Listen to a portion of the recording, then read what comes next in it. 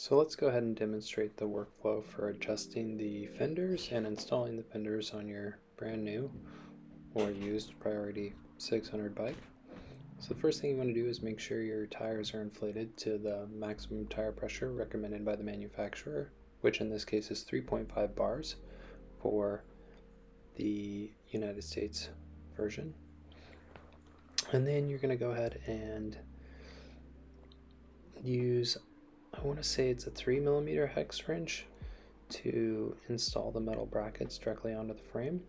And when I take those frame bolts out, just because my bike's new and the frame's freshly painted, I go ahead and use a little bit of WD-40 on the bolts just so that I can make sure they're well lubricated when they go into those newly tapped thread holes on the soft aluminum that might have a little pain in them.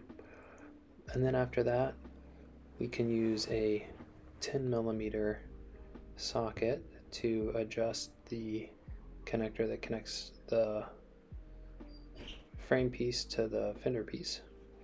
And I'm just trying to get as much clearance as I can from this relatively fat tire because I know that the tire itself is not going to be perfectly true and I don't want to hit it when it moves. So just making my adjustments little by little.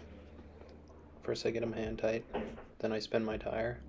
I also go ahead and adjust the top connector by lifting it up and you can choose whichever direction you want for the bolt, front, back. Put a little piece of foam in there, create some space. So you can get everything tuned nicely.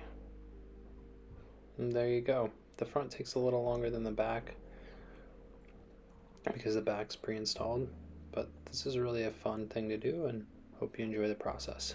Thanks for watching. Bye.